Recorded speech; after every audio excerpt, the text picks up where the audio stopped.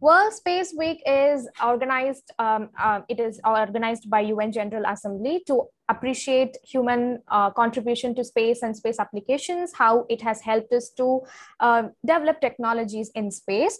So we are here from Art of Inquiry, forum to teach astrobiology and space sciences to kids from pre-teen age and it is co it is founded and led by Dr. Julia Brodsky, who's also uh, the lead instructor of Art of Inquiry.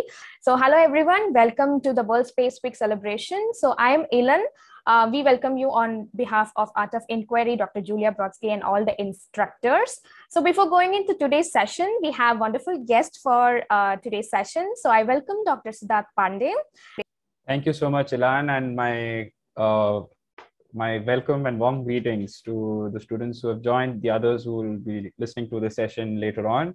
And we are in an exciting new space age right now, and there's so much that is happening uh, as you're all, uh, you know, in school right now. Some of you must be in university. Some of you might be having kids who are in school. So there's so much that you can get involved in. So what I thought I can talk about today was a little bit about the research that we do, which is actually about finding Mars on Earth. So there are several aspects of our own planet which help us understand Mars, and they actually look a lot like Mars. Uh, maybe Mars that is today, or Mars that is that was there many years ago, many many years ago. So how is it that we can find Mars here on Earth? So just a bit about that. So let me just get started here.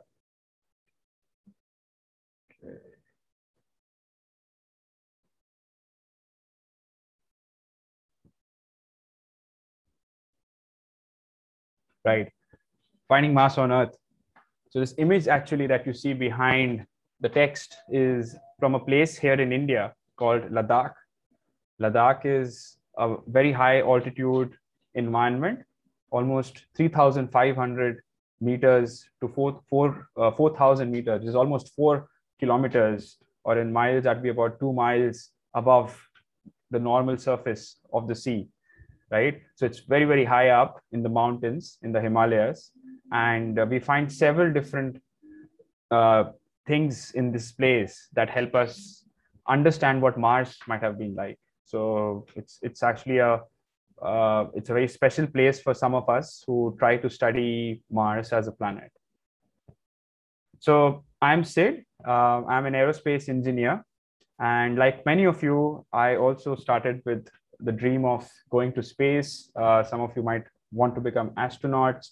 Some of you might want to build rockets. Some of you might want to, uh, you know, design Mars rovers, and uh, and also perhaps even work at NASA or one of the other exciting space agencies, you know, in your own countries.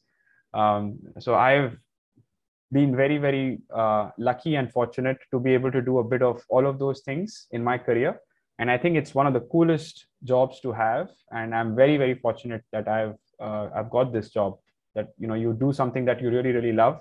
And uh, i've loved it since i was 14 years old and uh, i'm 31 years old now. So 32 years old now. So it's it's still something that is uh, you know going on. It's still a permanent love. It hasn't ended. So very few people actually around me can say that. So if you're interested in space and if you want to make a career out of it you should keep working at it. And i can assure you that you will have a very very happy time as you're studying it as well as eventually you know working at it. Um, so i actually got a chance to work at different in different countries in different roles and i'm still learning. I'm still very much i'd say like a student learning as much as possible. Um, so it's uh, there are several aspects uh, that really excited me about space uh, but one aspect that really, really excited me about space was actually uh, Mars. But just before I get into that, I just thought I'd talk about what got me interested into, into space. And this is when I was, I think, somewhat your age. Uh, few of you must be, I'm guessing, between 11 and 14 years old. So when I was 14 years old, I was really, really inspired by an astronaut, and her name is Kalpana Chawla. Um, some of you might have heard her name. Uh, for the others, she was a NASA astronaut who was originally from India and she had moved to the United States. And um, unfortunately, in a tragic accident, uh, she, along with the other six crewmates, um, lost her life when they were coming back from space to Earth in the space shuttle Columbia. So in February of 2003, we had these seven heroes who inspired so many people through their work, their life, and their mission. And at that point of time and that age, uh, that is the furthest I can recollect, is when I really, really started thinking about making a career in space. And um, this might be a moment for many of you who might be watching other astronauts and scientists and space engineers and maybe you know 20 years from now you might be looking back at yourselves and thinking about 2021 which might have in fact you know uh, inspired you. So keep keep pushing at it. So it was initially for me a push to become an astronaut but beyond that as i thought more and more about it you know where did i really want to go in space? Which are the interesting worlds that i would like to visit? And we are here on our planet earth and when you go out into space you can actually go to different worlds. And the nearest planets to us are both venus and mars as you can see on the slide uh, next to earth and venus is as you can see it is roughly about the same size as earth and also has the same kind of weight as a planet it has the same mass as earth um, but Mars, on the other hand, as you can see, it's it's smaller. It's about one third the size of, of Earth. Um, they're obviously not as close as this image is trying to show. But the reason I put them there was to show you that um, these three planets have some similarities and several dis- dissimilarities, the differences between them. But one thing is uh, that has been studied and uh, discovered is that the three planets, Venus, Earth, and Mars, was actually formulated at the same time, around the same time. But today, we find them to be so different, right? So, what was it that caused these planets to start in a very similar manner around the same time, but today became very, very different? So, that is something that is really, really intriguing for us to understand that what brought about this difference, right? And that's why we look at this hot, dense, cloudy Venus as a planet, which is having so much of carbon dioxide in it. And on the other side, you have Mars, which is this colder, drier planet, right? Uh, which doesn't have much of an atmosphere, very, very thin kind of an atmosphere. And then you have Earth in the center, which is where we live. And for our existence, it is perfect. So, in the next few years, what is Earth going to look like? Is it going to look like Venus?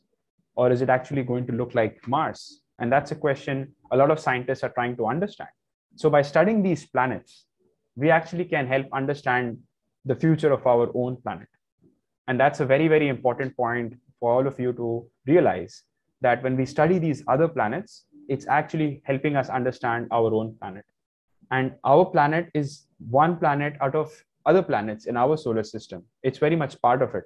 So, space is not just somewhere further away, far away, disconnected from us. We are very much part of that space. And there is so much that is in common between our planets that we only are coming to realize. So I also work and I discovered myself in my interests of going into space was actually trying to find life in space. You know, many of you might have seen several different kinds of movies which talk about different kinds of aliens right? So in this massive universe in which we live, is it so that we are alone? But or is it so that there are many other planets that exist where life is existing? And what kind of life is there out there? So to start with, we start we try and understand how exactly does life on our own planet grow. And to do that we go to different kind of environments. We go to environments which are very extreme. And when i say extreme by that i mean very hot environments very cold environments environments that have a lot of salt because salt is something that actually is uh, uh, is actually a substance that prevents a lot of life you know from actually growing you might have seen uh, if you've had a lot of uh, pickles at home, right? Uh, people add a lot of salt in pickles. And that is mainly because salt pulls out all the water. It dehydrates, you know, the food substance that you're uh, planning to preserve for long durations of time. So salt does that. It actually kills life. But we find that if you go to some environments on our planet which are very salty, we find that life is actually evolving and adapting to live in very salty environments. And on Mars, we also have different kinds of salty environments. So, what kind of life are we expecting to find in, uh, in such kind of salty environments? So, our universe, or rather our solar system to start with, is full of many of these kind of extreme environments. And if you have to look for life in these extreme environments, you have to first understand that what would that life look like? How would it adapt? How would it have adapted over millions and millions of years to be able to sustain itself and to be present there?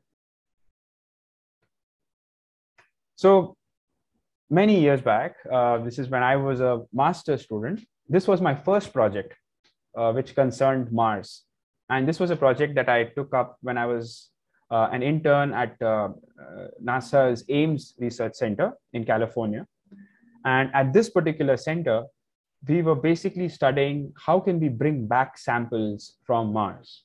And the reason we want to do that is because Mars is a planet which is quite far away.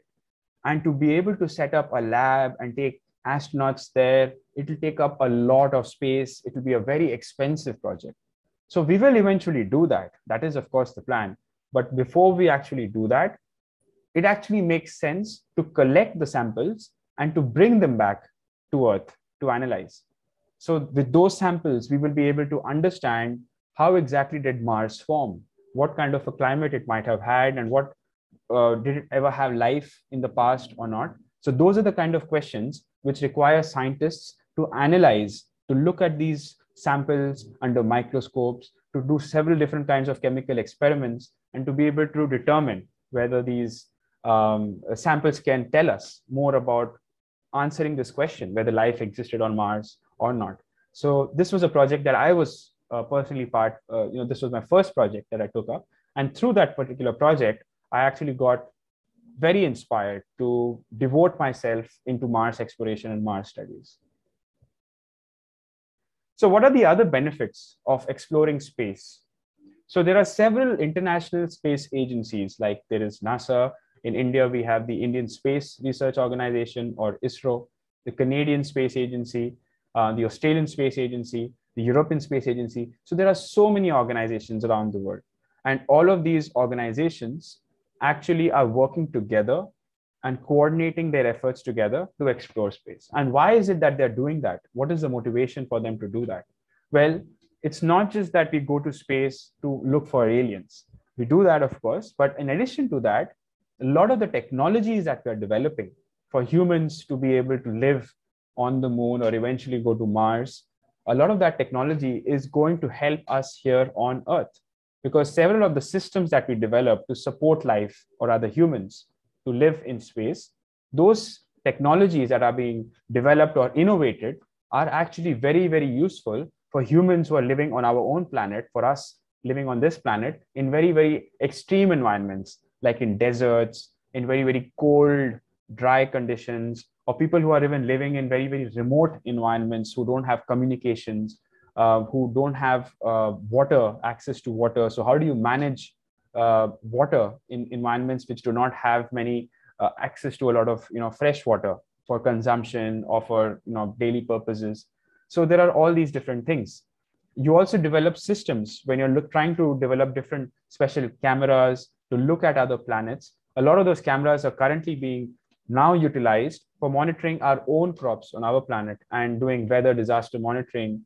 Of course it helps in terms of science right? Because that is the long term objective to be able to determine where did this universe start with right? And how did the solar system start? How did the planets come into being? and what is the course of the future? How is it all going to look like right? And it's obviously very inspiring. So many of you who are inspired to listen to uh, space engineers and scientists and astronauts it will inspire you all to take this further become scientists and then because it's an ongoing project, right? It will go on for many years and it will require more and many of you to join aerospace and space exploration, right? And it also helps in cooperation between different countries. So overall, it's a very, very uh, good, uh, you can say, uh, you know, endeavor on in uh, on the part of all the countries to kind of work together. So space exploration has not just benefits for space, but actually has benefits for us here on Earth. So whenever somebody asks you this question that why should we put money to build a rocket to go to Mars or Moon, then these are the kind of points that you can talk about and explain to them the importance of the technology that is being developed or the innovation that is coming about and how it can actually help us here on our planet itself. So when we are when we are training, when we are training to explore space, we need to go to different environments where we can test our instruments and our technologies. So all the different space agencies that are involved in space exploration, they use different sites on our planet to simulate a scientific and technical environment in which they can test the activities for eventually preparing themselves before they go to moon and eventually to mars right? And these sites are referred to as analog sites. So the word analog basically means that it is something that is similar to or analogous to. You might have heard this word. So analog environments or mars analog environments are classified in terms of their how they physically do they actually look like Mars? Are there any uh, chemical similarities between the soil that we are finding here? Any geological similarity, right? And it could be similar to what we see on Mars today, or it could be similar to what we have on Mars that we might have had on Mars many millions and millions of years ago. So these images that you're seeing right now on this slide are actual images of astronauts or scientists and engineers who are actually training in this analog environment. So these range from places in Utah, in the, in, uh, in, in, in the United States, and also in Hawaii. There's actually a simulation camp there called HI-SEAS. There's sites in Africa, in Europe, in India. And several of these sites are actually out in the natural environment, but you also have different artificially created sites where people actually test their rovers or different kinds of systems that need to be developed for Mars or Moon exploration. And if you had to talk about the specific technologies that are tested at these analogs, so here is a list for you to try and understand the importance of these analog sites.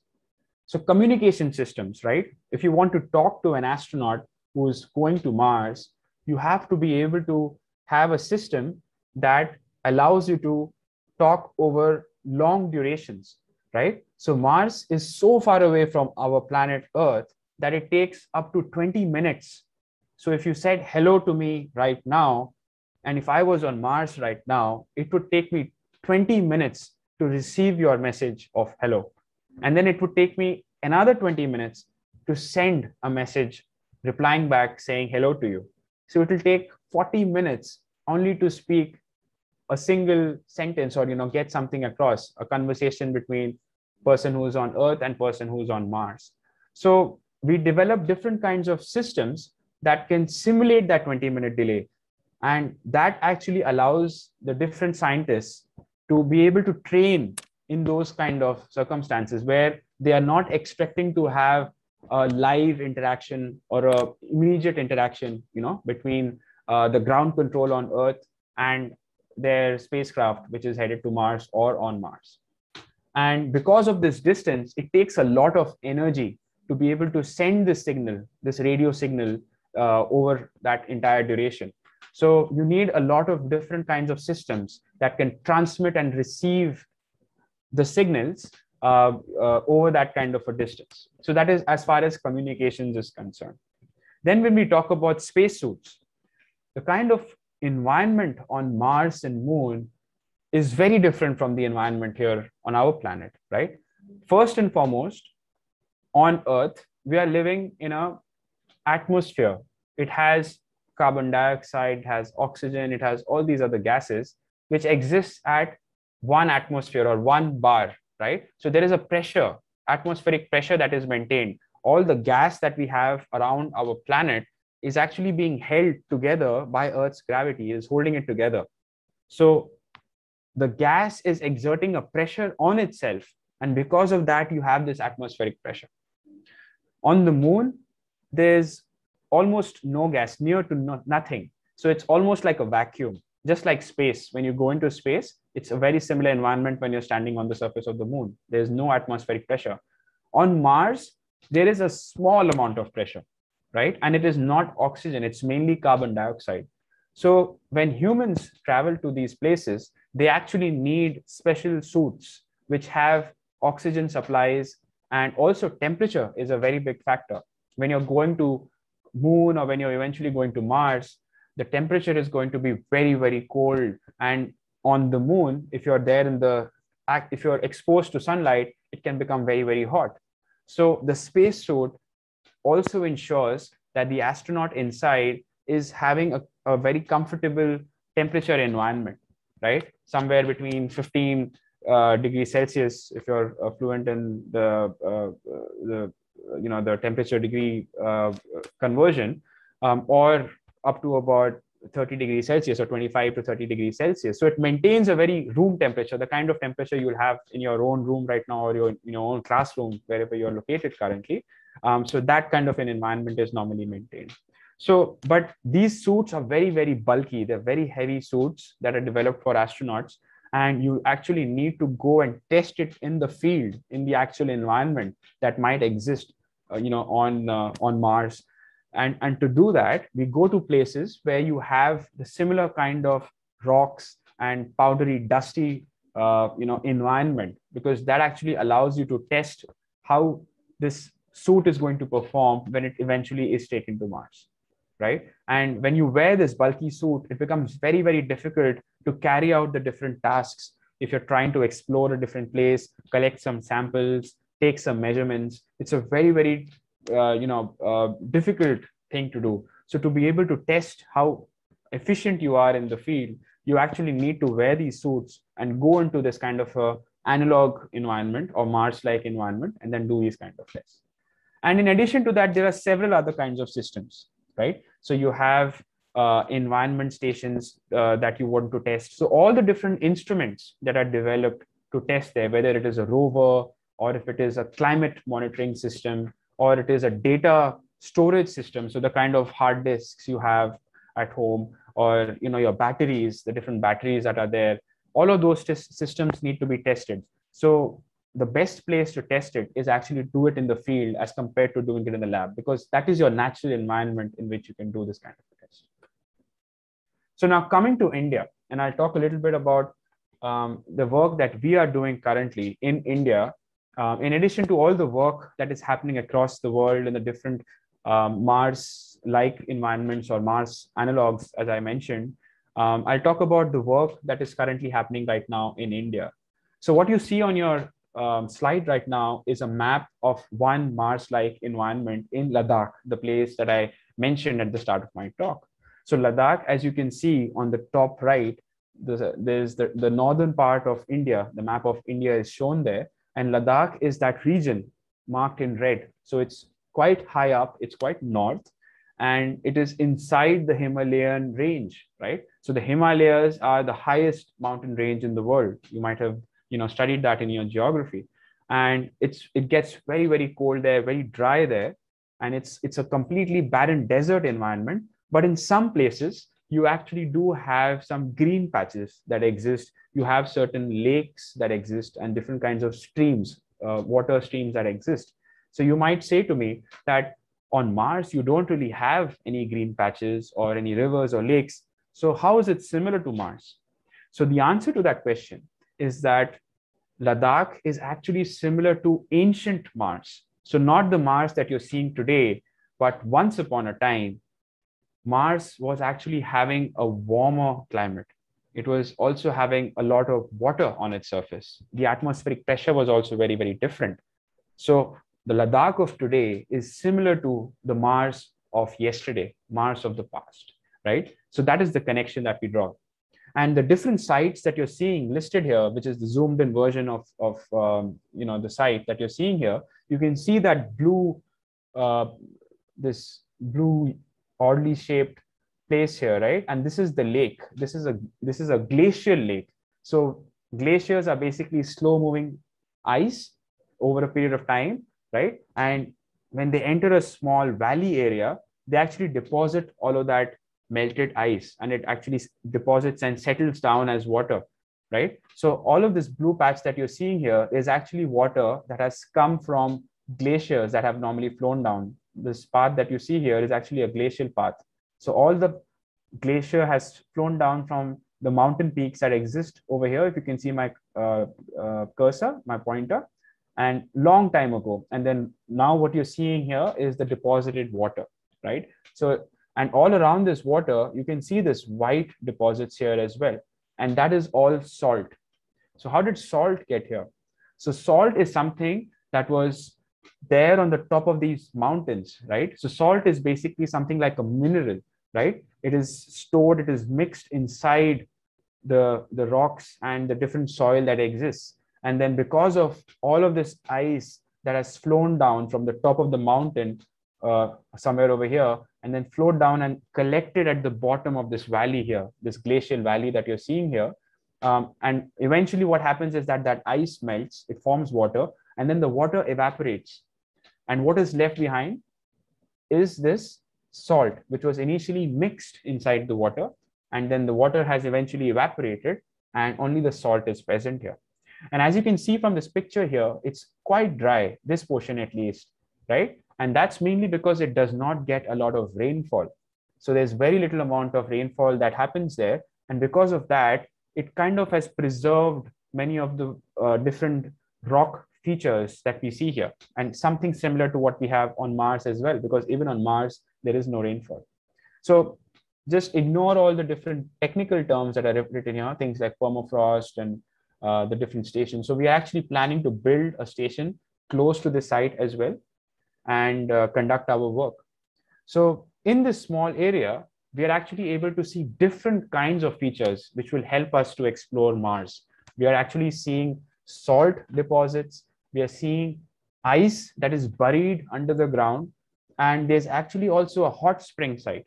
So a hot spring site is actually a place from where hot water underneath the surface is actually coming out, right? And, and this actually shows that underneath the ground, there is actually a large magma chamber. There's a lot of lava that is stored there, many kilometers underneath, right? And that is actually heating up the soil. It is heating up the water that is stored inside. And that water is eventually finding itself up, way up, and then coming out. And that's what forms a hot spring. So all of these different kinds of sites in this small area are very, very interesting for us to understand uh, Mars as well. Because when we are trying to look for life on Mars, we actually want to study these kind of extreme environments. Remember, as I was saying, we are interested in places that are really cold, really hot, really salty. So this is the kind of place we'd like to visit, where we get to see all of these kind of different environments. So Ladakh is a high value analog site.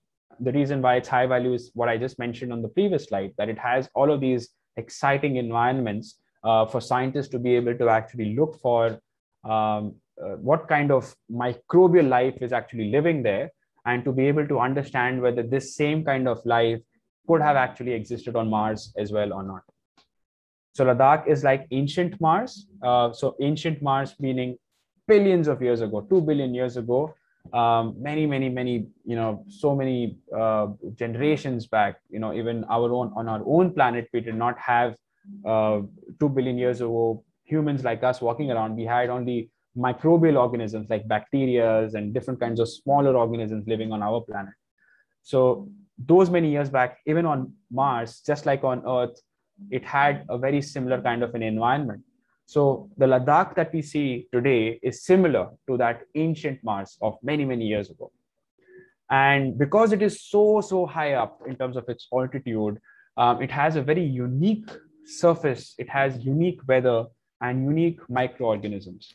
And why are they unique? It's because they are exposed to this high altitude.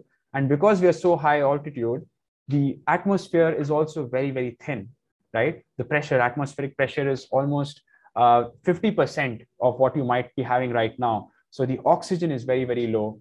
And because it is so high up and the atmospheric, uh, there's very little amount of atmospheric layer there, the amount of radiation coming from sun is also very very high so the sun emits a lot of light as you know we see a lot of light that is coming to us if you go out to the beach uh, on a sunny day, you'll, you'll feel the warmth of light coming from the sun.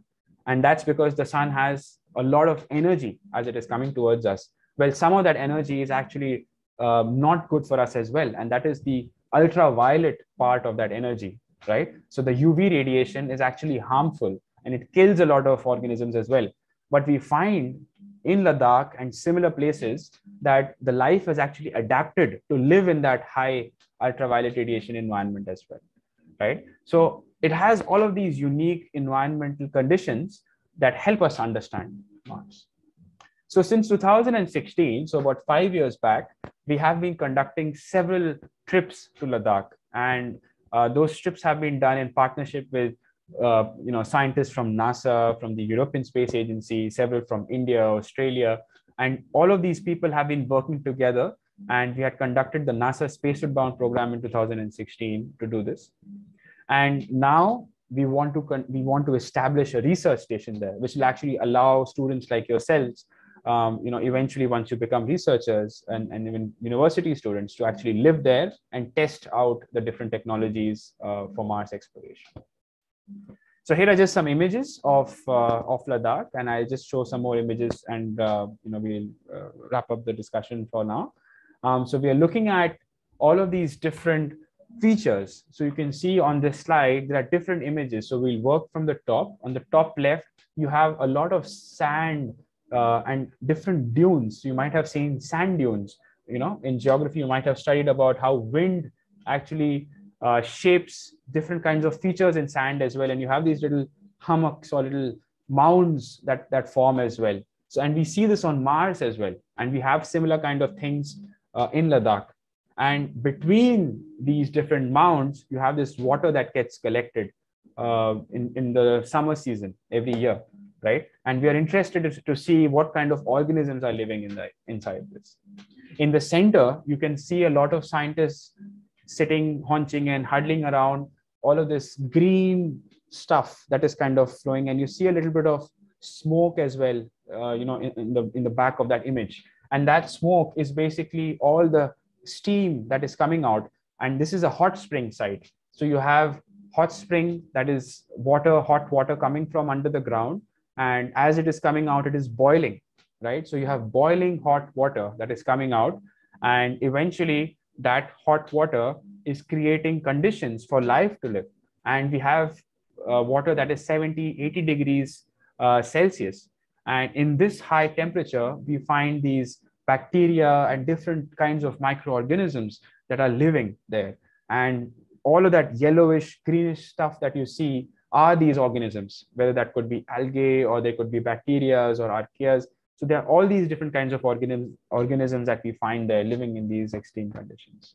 And on the bottom, behind the text, uh, it is a salt flat. It is that same lake that I'd shown you on that image uh, in the last slide, that map and the, all of that white stuff is actually salt.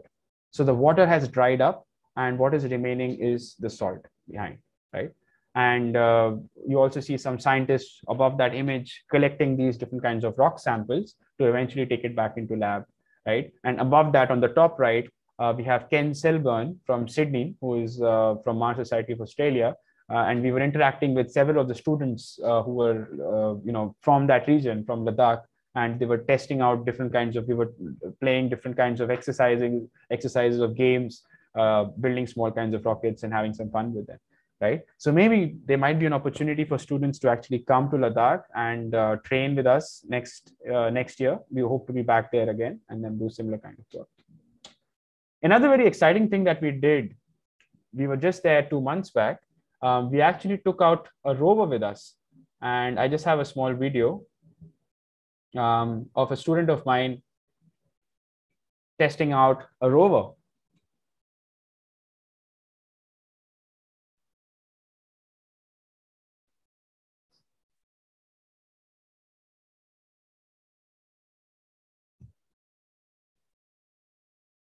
So this was a rover that was built by students, engineering students, aerospace, uh, mechanical, electrical engineering students. And as you can see, it has six wings, three on each side.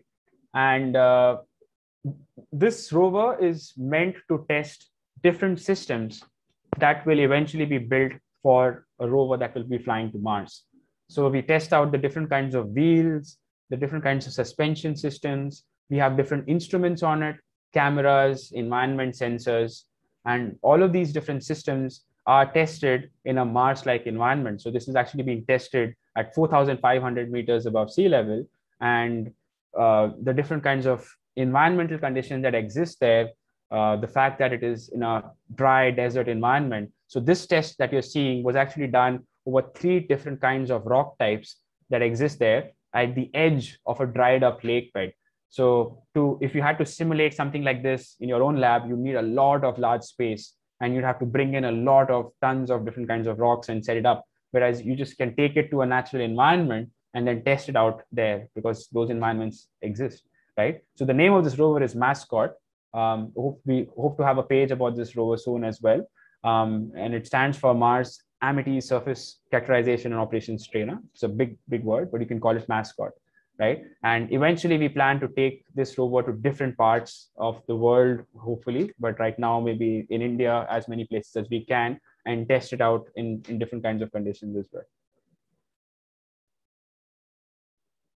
There are other experiments that were also conducted. So we went to this dried up lake bed, like I showed you in the previous slide, and we were interested in what was underneath, because even on Mars, we might not find life on the surface of Mars, but what is interesting is actually the underground environment of Mars. So we are really, really interested to see uh, what is underneath, you know, a few kilometers under the surface of Mars. And to do that, we test out different kinds of instruments uh, in, in environments on our planet, just like Ladakh, and to see what kind of environment exists underneath as well.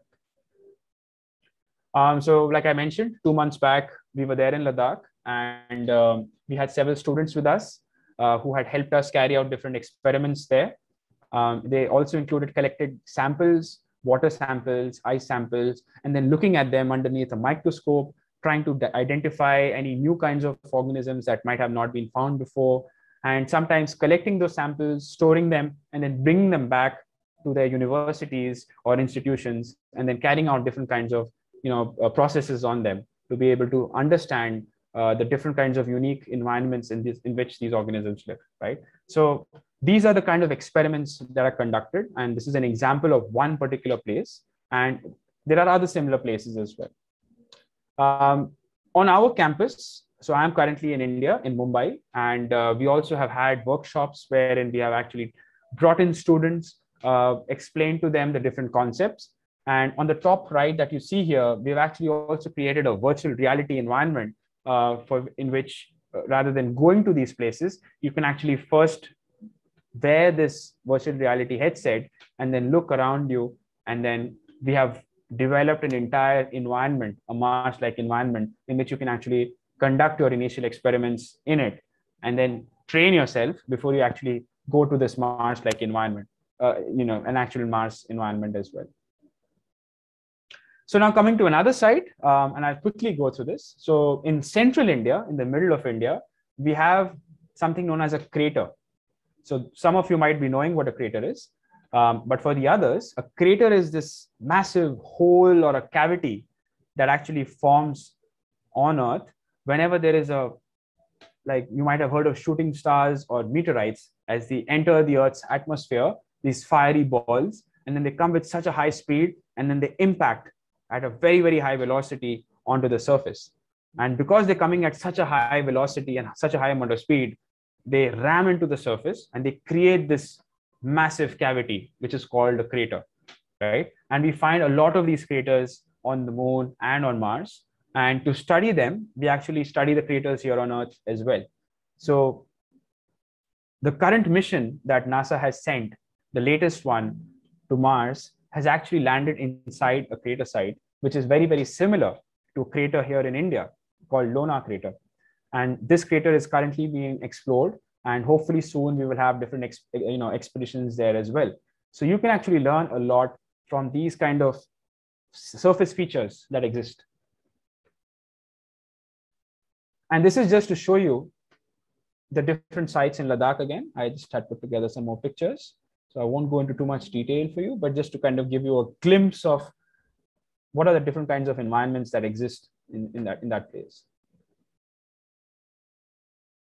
So you have this dry desert environment, you have these lakes, you have the hot springs, you have these ice deposits, you have glaciers. So these all these different environments which are salty, some of them are hot, most of them are very, very cold, almost all of them are dry. So these are the kind of environments we are interested in because that is what is there currently on Mars or was there on Mars many, many years back.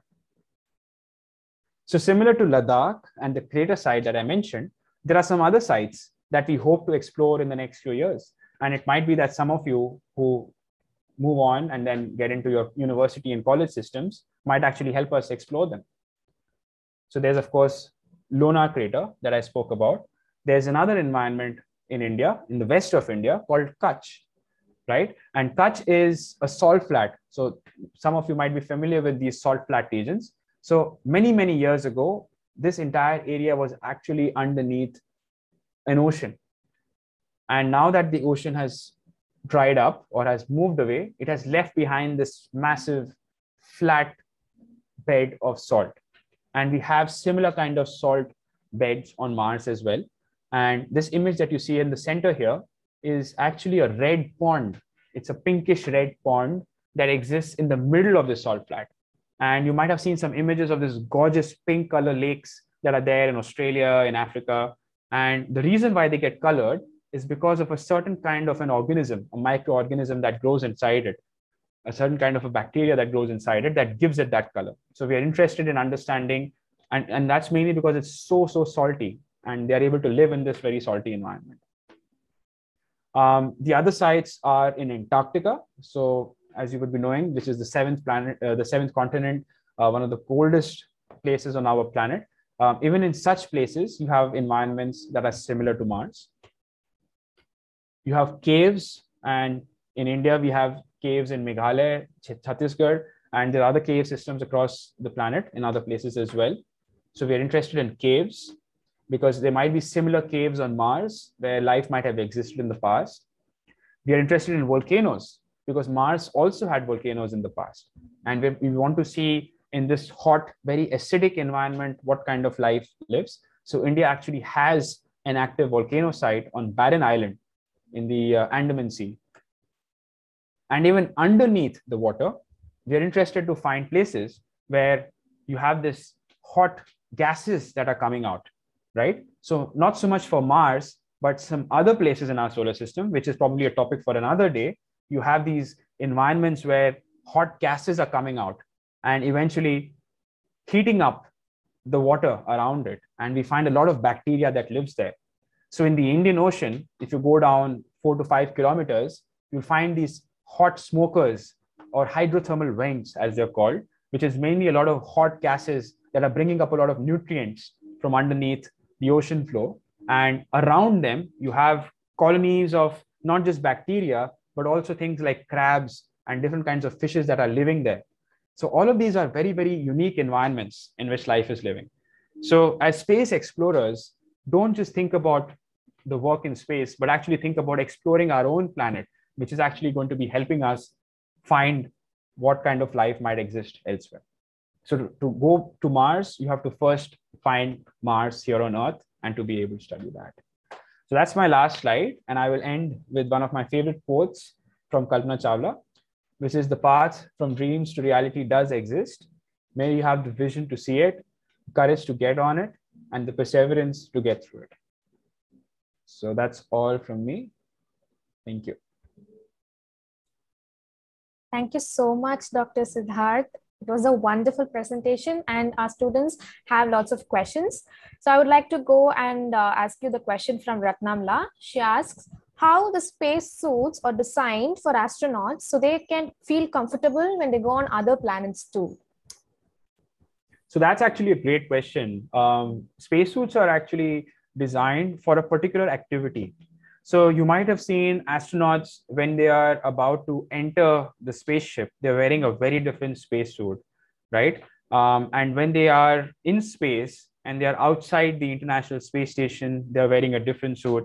Um, you might have seen older pictures of astronauts walking on the surface of moon and they're also wearing a very very different suit and now uh, the suits that are being designed for people who will be one day going to mars will be very different so it depends what that particular environment is for which the suit is being built. If it has to go to space, uh, definitely it needs to have a lot of coating and a lot of padding inside it to ensure a lot of insulation and covering so that you're not getting uh, the temperature that you're in.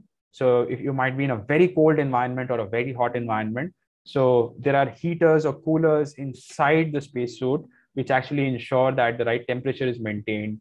Um, sometimes the sunlight can be very very bright, so you have visors or you know glass covers on your helmet that protect you as well. And if you're actually going to the lunar surface or the moon surface or Mars surface, there's a lot of dust in the environment.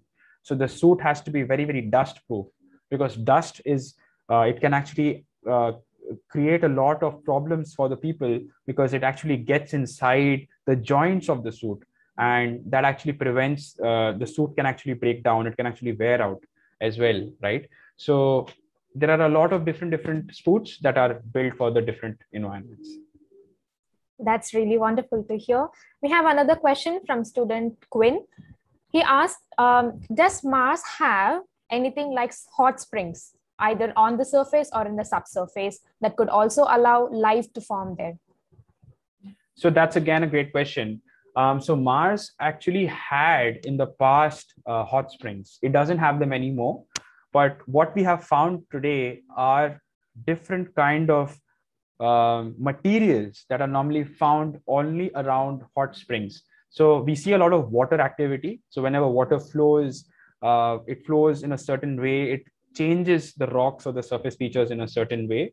Um, so we have found that uh, there are certain sites in Columbia Hills. In fact, uh, you should read about Columbia Hills on Mars, where they've actually found these hot spring sites. So once upon a time, when Mars had water on its surface, it definitely had hot springs. Thank you so much for answering the questions, Dr. Sid. Um, right now, we don't have any more questions from the students, but I believe everyone enjoyed the session thoroughly like I enjoyed it. So thank you so much for joining us today, uh, Dr. Siddharth. It was a very wonderful presentation. I take this opportunity to thank Dr. Julia for organizing this webinar and also special thanks to Dr. Siddharth for inspiring our students with this wonderful session. Thank you so much for joining us, Dr. Sid. Thank you so much, Ilan, and thank you, Julia, for the opportunity as well. Take care, students. If you want to reach out to us, you can always contact us at uh, artofinquiry.net. Uh, if you have any more questions, please keep coming uh, at the website of Art of Inquiry. We will definitely answer you in the mail.